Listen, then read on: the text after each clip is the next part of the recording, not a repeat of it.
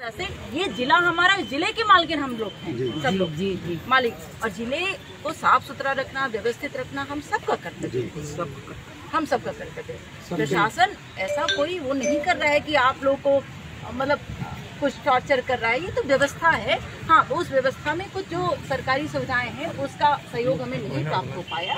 जिसमें विलम्ब हुआ वो थोड़ा जल्दी हो जाना चाहिए। था इस बात से मैं भी मैम हम लोग बीमारी के से एक साल से आश्वासन दिए जा रहे से आने रहने में हम लोग हल्के आप तो फिर भी सौभाग्यशाली थोड़ा सिंगरौली को जाके देखिए। रोज कोयला खाते हैं रोज जो फूकते हैं तो कोयले सब उससे फूकने से वो काला काला बलगम आता है।